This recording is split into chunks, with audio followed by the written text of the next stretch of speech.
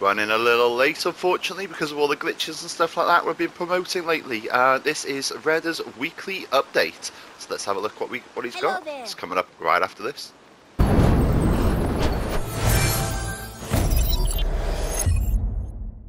What do you Okay, little man, let's show show us what you got. Okay, so we've got uh, another camp decoration. Okay, it's not bad. Frozen trees. I prefer the one I've got on fire, so that's not too not too bad. Uh, a Roman soldier statue. Any difference? Yeah, difference. Wonder how big that's going to be. Could be quite cool if you go for a Roman theme. A blood eagle. Quite like the look of this, but for a skin for 150, I don't know. Even though we've just got a couple of uh, a couple of hundred extra opals for free from the pack, I still don't know about this one.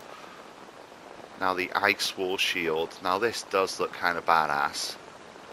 But I don't really rock shields that much, so I'm going to miss that one. I'm not going to go for anything this week. Let me know in the comments if you decide to. And if you want to join the Discord and share pictures of them, I'd love to see what that ice shield looks like.